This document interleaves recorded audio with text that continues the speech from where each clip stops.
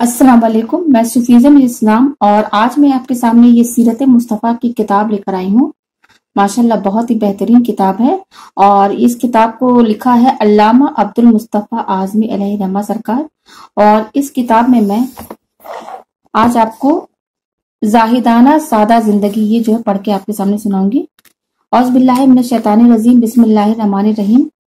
आप शहनशाह, कौनैन और ताजदार दो आलम होते हुए ऐसी जाहिदाना और सादा ज़िंदगी बसर फरमाते थे कि तारीख नबूवत में इसकी मिसाल नहीं मिल सकती। खुराक व लिबास, मकान व सामान, रहन सहन, गर्ज ज़िंदगी के हर गोशे में आपका जुहद और दुनिया से बेपरवाही का आलम। इस दर्जे था कि जिसको देखकर यही कहा जा सकता था कि दुनिया की नेमतों और लज्जतें आपकी निगाह नबूवत में एक मच्छर के पर से भी ज़्यादा जलील व कमतर है। हज़रत आयशा रज़ी अनहु सरकार का बयान है, हजूर पाक सल्लल्लाहु अलैहि वसल्लम की मुकद्दस ज़िंदगी में कभी तीन दिन लगातार ऐसे नहीं गुजरे कि आपने पेट भरकर रोटी खाई हो। एक एक महीने तक घर में चूल्हा नहीं जलता था। खजूर व पानी के सिवा आपके घर वालों की कोई दूसरी खुराक नहीं हुआ करती थी। हालाँकि अल्लाह ताला ने आपसे फरमाया कि अय हबीब, अगर आप चाहे तो मैं मक्का की पहाड़ियों को सोना बना दूँ, मगर आपने इसको पसंद नहीं किया।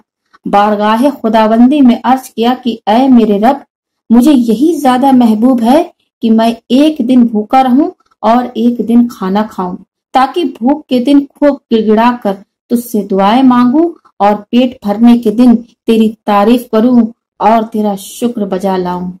हज़रत आयशा रज़ी अल्लाह सरकार ने बताया कि हुजूर पाक सल्लल्लाहु अलैहि वसल्लम जिस बिस्तर पर सोते थे, वह चमड़े का गत्ता था, जिसमें रुई की जगह पेड़ों की छाल भरी हुई थी।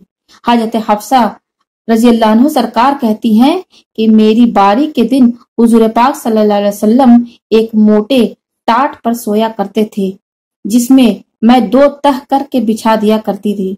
एक मर्तबा मैंने उस टाट को चार बार तह करके बिछा दिया तो सुबह को आपने शाद फरमाया कि पहले की तरह इस टाट को तुम दोहरे करके बिछा दिया करो। क्योंकि मुझे अंदेशा है कि इस बिस्तर की नरमी से कहीं मुझ पर गहरी नींद का हमला हो जाए तो मेरी नमाज़ तहजुद में खलल, खराबी फतूर पैदा हो जाएगा।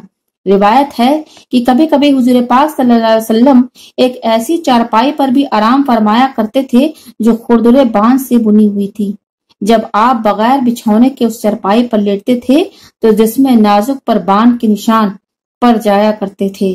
शिफा शरीफ, जिल्द एक, सफ़ा 82 ता 83